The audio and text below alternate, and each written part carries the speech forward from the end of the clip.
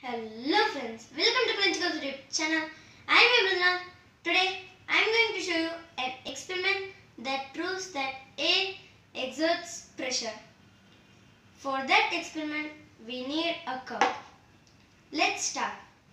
Take the cup and keep it near your mouth. Suck the air into the mouth.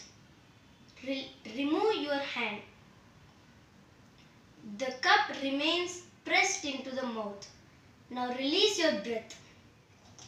The cup falls down.